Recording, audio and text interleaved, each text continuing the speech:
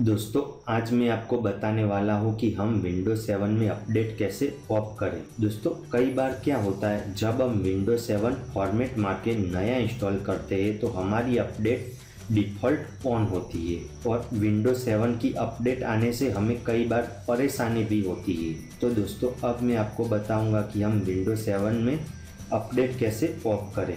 Window seven में दोस्तों update of करने के लिए सबसे पहले हमें ओपन करनी पड़ेगी कंट्रोल पैनल तो ये रही कंट्रोल पैनल इसे हमने ओपन किया और इसमें दोस्तों विंडो अपडेट ये ऑप्शन बना है। इसे अब हमें ओपन करना पड़ेगा।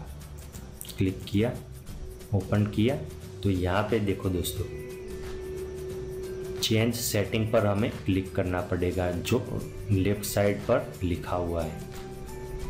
ये देखो दोस्तों तो यहाँ पे default install update automatically select है।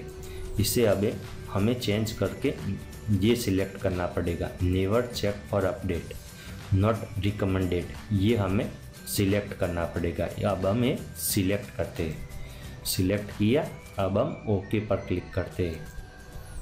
ओके, पर क्लिक किया तो दोस्तों बस हमने विंडो सेवन की ऑटोमेटिक अपडेट अब ऑफ़ कर दी। अब हमारे कंप्यूटर में विंडो सेवन की कोई भी अपडेट नहीं आएगी। तो दोस्तों बस मेरे ये वीडियो में इतना ही।